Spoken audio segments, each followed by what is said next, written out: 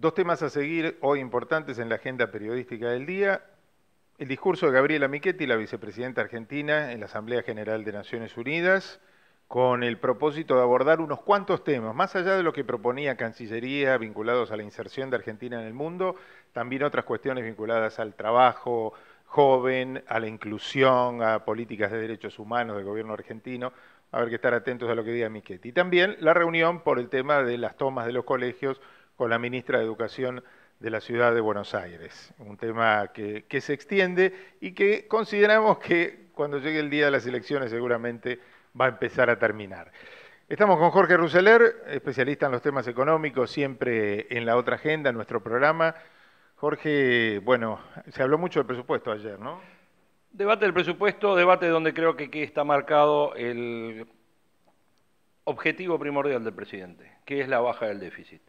Yo creo que vamos a estar viendo un año 2018 con variables de crecimiento económico en la economía, con un dólar que eh, se está abriendo un promedio entre 19 y 20 para el año, eh, con una baja importante en subsidios, sobre todo en lo que tiene que ver con tarifas residenciales, que creo que igual no va a ser del impacto de lo que tuvimos, Carlos, que fue muy importante en ese primer año difícil de Macri.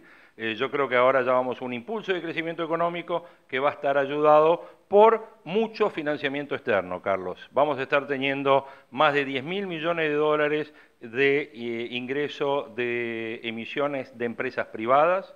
Vamos a estar viendo más de 20 mil millones de dólares de ingreso de emisiones que va a estar haciendo el Estado Nacional para cubrir el déficit. Otros 11 mil millones de emisión que va a ser para renovar los intereses de los vencimientos de deuda que tenemos el año que viene. Va a haber créditos extranjeros, fundamentalmente para financiar obra pública. Y lo más interesante de todo esto es que cambia el régimen de obra pública. Dejamos de tener financiamiento puro del Estado para esto y vamos a tener una fuerte presencia con un montón de proyectos en todo el país de desarrollo de infraestructura con el sistema de PPP que es de participación público-privada. Creo que ahí está el gran cambio, hay un hay un cambio de gestión que creo que más allá de que ahora no se ve, no se ve porque estamos en todo este tema electoral, ruido, la chicana de ayer del ministro con Kisilov, con Marco Labaña. Yo creo que todo eso es chicana, hay que dejarlo de lado. Lo importante es que hay, hay un cambio en política económica, hay un, hay un sesgo de decisión política de ir avanzando en las cosas que hay que avanzar. Reforma impositiva, bueno, no sabemos cuál es el alcance, el impuesto al cheque sigue, ¿no? El impuesto al cheque sigue, eso es un clásico argentino, ahora dicen que bueno, que va a financiar al ANSES, y si tocamos el cheque, bueno, y hay un tema muy importante, Carlos, que lo vamos a estar viendo después de las elecciones, que es eh, que vuelve el Fondo de Reparación Histórica a la provincia de Buenos Aires. Exacto, una pelea entre gobernadores muy fuerte. Y hay que ver cómo se distribuyen esos fondos y cómo se financia ese aporte, y todo porque toda la caja es una.